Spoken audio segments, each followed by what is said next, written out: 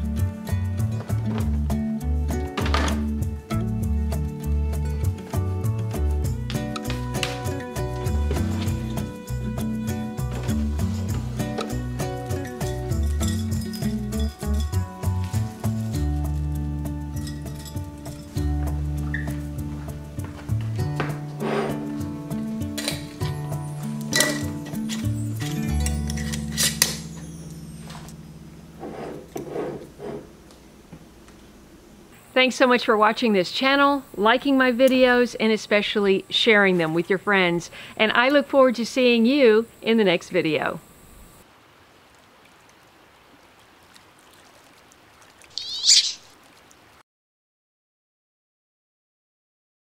If you enjoyed this video, please watch these.